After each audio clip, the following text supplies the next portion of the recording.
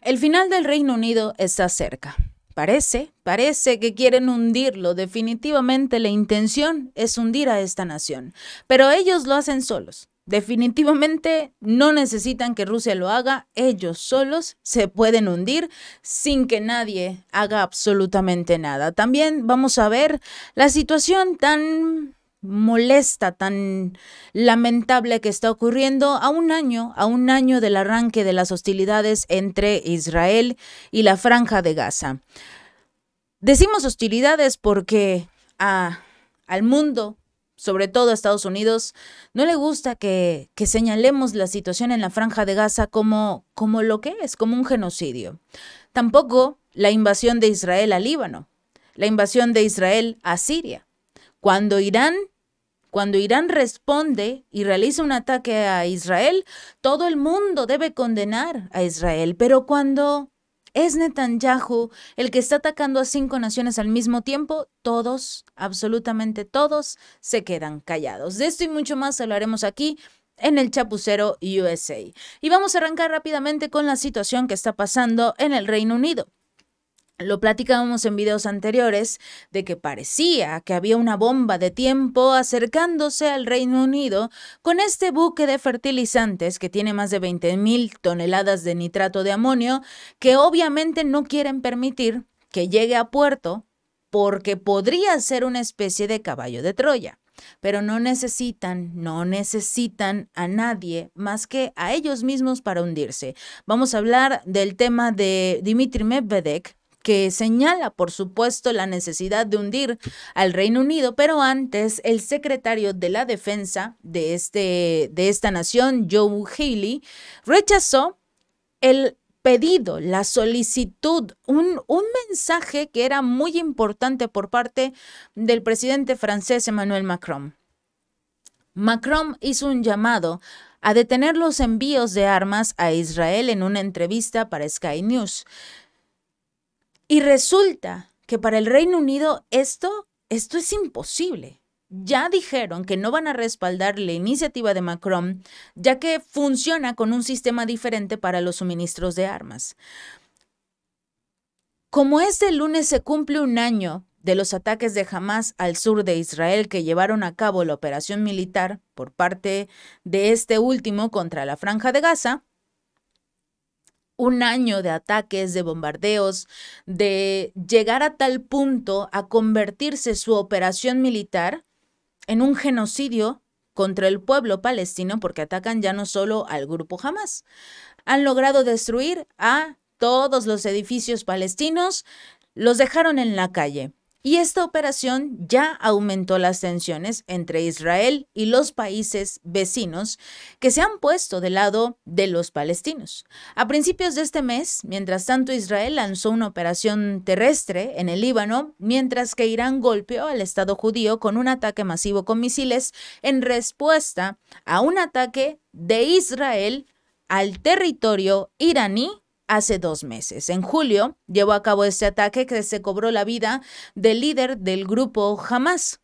Más adelante, realiza otra vez Israel un ataque, pero ahora en territorio libanés, y esto, esto genera la muerte del líder del grupo Hezbollah dentro de su búnker, con lo que quizás no contaba, o sí, y simple y sencillamente aprovechó la oportunidad, fue que cuando realizó este ataque, dentro del búnker se encontraba un comandante, un comandante de las fuerzas de la Guardia Islámica de Irán.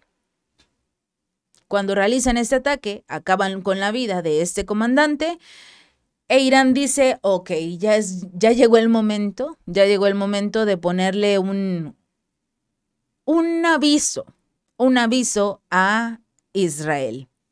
Si continúan los ataques donde perjudica a Irán, ellos van a responder. Pero obviamente Israel se hace la víctima y así lo venden la mayoría de los medios occidentales. Y precisamente en una entrevista con este tipo de medios, Macron dijo que las naciones occidentales deberían dejar de enviar armas a Israel, recalcando la necesidad de una solución política a la crisis en Medio Oriente y sobre todo lanzando esta advertencia que el Líbano podría convertirse en una nueva Gaza. Sus palabras provocaron obviamente una respuesta inmediata por parte del el líder Benjamin Netanyahu, quien compartió una publicación a través de su cuenta de ex y dijo obviamente que el mensaje de Emmanuel Macron era una vergüenza, era una total y rotunda vergüenza y así lo iban a recordar y prometió que Israel va a ganar con o sin el apoyo de Occidente. Pero vamos a ver rápidamente el mensaje del líder de Israel, Benjamin Netanyahu. I have a message for President Macron. Today, Israel is defending itself on seven fronts against the enemies of civilization. We're fighting in Gaza against Hamas, those savages who murdered, raped, beheaded, and burned our people on October 7th. We're fighting in Lebanon against Hezbollah, the most heavily armed terror organization in the world, which was planning an even greater massacre than October 7th on our northern border, and that has rocketed Israeli towns and cities for nearly a year. We're fighting against the Houthis in Yemen and the Shiite militias in Iraq and Syria that together have launched hundreds of drones and missile attacks against Israel. We're fighting against terrorists in Judea and Samaria who are trying to murder civilians in the heart of our cities. And we're fighting against Iran, which last week fired over 200 ballistic missiles directly at Israel, and which stands behind the seven front war against Israel. As Israel fights the forces of barbarism led by Iran, all civilized countries should be standing firmly by Israel's side. Yet President Macron and some other Western leaders are now calling for an arms embargo against Israel. Shame on them. Is Iran imposing an arms embargo on Hezbollah, on the Houthis, on Hamas, and on its other proxies? Of course not. The axis of terror stands together. But countries who supposedly oppose this terror axis call for an arms embargo on Israel. What a disgrace. Well, let me tell you this Israel will win with or without their support, but their shame will continue long after the war is won. For in defending ourselves against this barbarism, Israel is defending civilizations against those who seek to impose a dark age of fanaticism on all of us. Rest assured, Israel will fight until the battle is won, for our sake and for the sake of the peace and security of the entire world. Ante estas declaraciones del líder de Israel, se le cuestionó obviamente también al ministro de la Defensa del Reino Unido para saber qué es lo que opinaba, para saber si también le van a cortar las armas a, a Israel. Y en este caso dijo que no. En este caso, Haley dijo que no, que Londres no va a apoyar un embargo total de armas a Israel, señalaron que su país tiene sus propias reglas que regulan la exportación de armas a este Estado judío. Nosotros, como gobierno, no suministramos nada directamente a Israel, pero cuando hay licencias de exportación que implican un riesgo claro de que puedan violar el derecho internacional, las hemos suspendido cuando podrían afectar a la vida de Gaza. Hay casi 100.000 personas que han perdido la vida en la franja de Gaza y, eh, y supuestamente están suspendiendo, suspendiendo la exportación de armas cuando podrían afectar la vida en Gaza. Hay cerca de 100.000 personas desaparecidas. Esto no es afectar la vida en Gaza, llevan un año siendo bombardeados todos los días. Aquí se aplica la palabra que utiliza el, el, primer ministro de Israel, Benjamin Netanyahu. Es una vergüenza y van a vivir con su vergüenza porque la historia los va a recordar.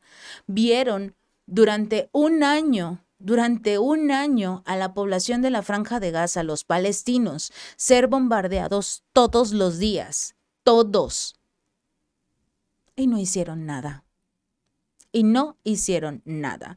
Cuando Israel decide atacar el Líbano, invadir el Líbano, porque eso es lo que está haciendo actualmente. Nadie, absolutamente nadie se movió para emitir una sanción en su contra. Lo mismo que hizo Rusia, y así como condenaron a Rusia por entrar en el territorio de Ucrania, lo mismo que le hicieron a Rusia, se esperaba mínimo contra el gobierno de Israel. Y no han hecho nada.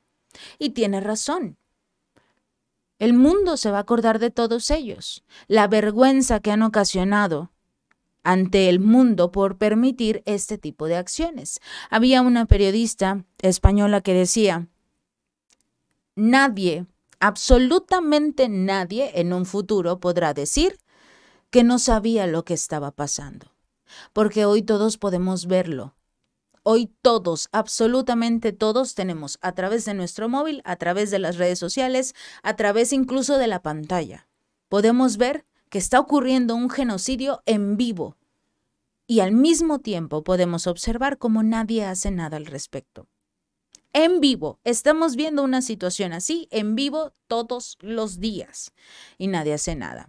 Y supuestamente este eh, funcionario, este funcionario dejó muy en claro, por supuesto, que van a seguir entregándole armas a Israel. Ellos se referían también a la suspensión por parte del Reino Unido de 30 de sus 350 licencias de exportación de armas a Israel el mes pasado. Suspendieron 30 y hay 350 empresas más que le están entregando armas a Israel incluidos aviones de combate, helicópteros y drones. Justifican la medida, en ese momento advierten de un riesgo claro de que estos artículos pudieran utilizarse para violar el derecho internacional humanitario. Esto se está violando desde hace un año. Bueno, hace más, más de 70 años que la guerra se ha estado realizando entre Israel y lo que alguna vez fue Palestina. Y casualmente la historia nos indica una cosa. Israel logró todos estos triunfos, toda esta victoria, gracias a un amigo, principalmente un amigo, al mismo Reino Unido. Por eso nos sorprende que lo primero que hacen es decir, no vamos, no vamos a detener el envío de armas, no vamos a exigir tampoco un alto al fuego porque esta guerra la creamos nosotros. Así que no nos no es necesario, no nos interesa detenerla.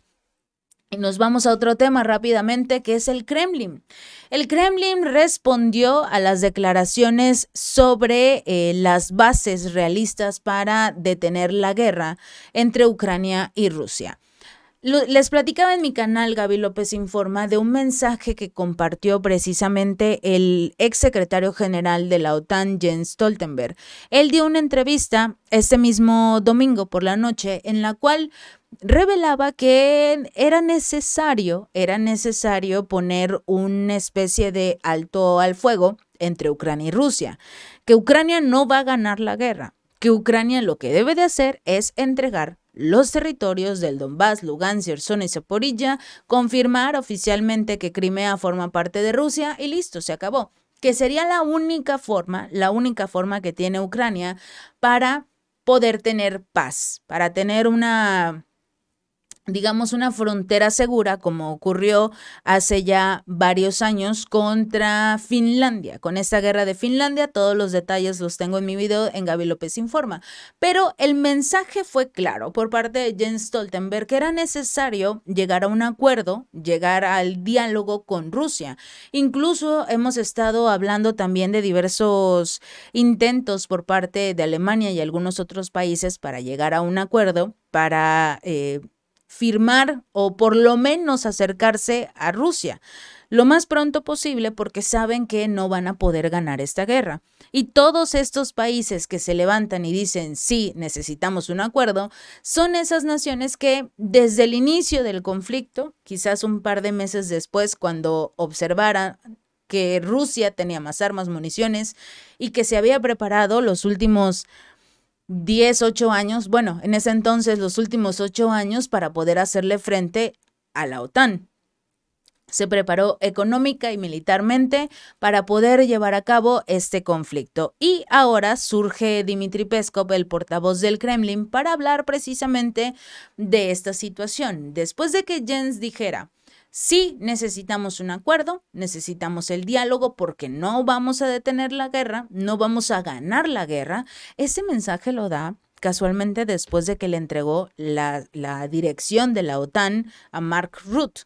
Antes de este mensaje, antes de este mensaje siempre decía, vamos a ganar la guerra, vamos a darle más armas y municiones a Zelensky, no hay ningún problema, todo va a estar bien.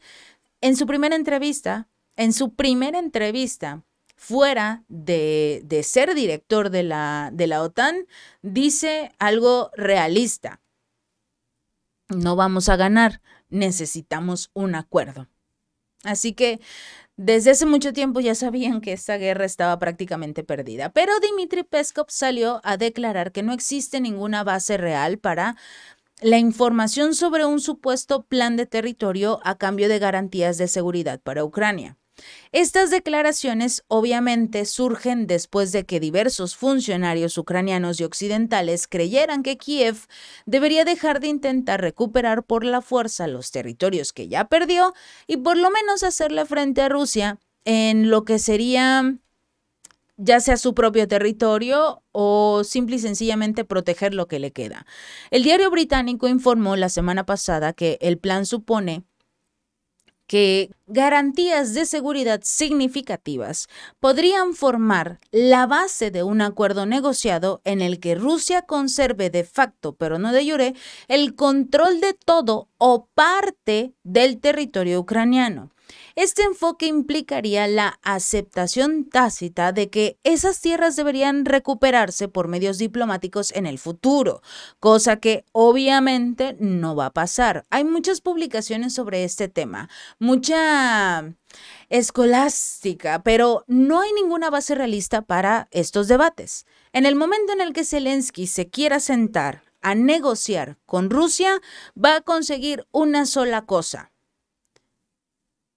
el plan de Rusia frente a él, en el cual se van a quedar legítimamente todos los territorios, eh, el Donbass, Lugansk, Yerson, Zaporilla, incluyendo a Crimea. Todos estos territorios van a pasar a ser parte de Rusia y se acabó. Y además, en la lista también va a incluir en letras pequeñas, no vas a poder unirte a la OTAN, no vas a poder unirte a la Unión Europea y vas a garantizar, vas a confirmar que jamás, jamás te vas a enfrentar a Rusia, nunca. Palabras más, palabras menos. Eso es lo que va a decir el papel. Eso es lo que va a decir el acuerdo. Putin se lo va a enfrentar, se lo va a colocar de frente al líder ucraniano Volodymyr Zelensky, porque presidente no es, y le va a decir, o firmas o seguimos en la guerra. Es que tenemos que discutir. No hay forma de discutir. Tú lo sabes, yo lo sé, el mundo lo sabe, no hay forma de que puedas ganar. No hay ninguna forma, ninguna en la que puedas ganar. Y en el momento en el que lances siquiera un misil de largo alcance dentro de Rusia, en ese momento yo te voy a lanzar una bomba atómica y se acabó. Porque ya tengo las bases legales para hacerlo. No hay forma de que Zelensky pueda ganar esta guerra. Según Zelensky, y dio un discurso hace unos dos días, dijo que tenía la intención de garantizar una paz y seguridad confiable para su país sin ninguna negociación sobre soberanía o territorios comerciales, y recalcó que su administración seguirá promoviendo su plan de la victoria en Occidente, del cual todo el mundo se burló en la pasada reunión de la ONU. Nadie lo tomó en cuenta porque el mundo sabe que ese plan de Zelensky es ridículo, ridículo en todos los aspectos. Incluso hasta Putin se rió. Por eso deben entender que no van a ganar esta guerra.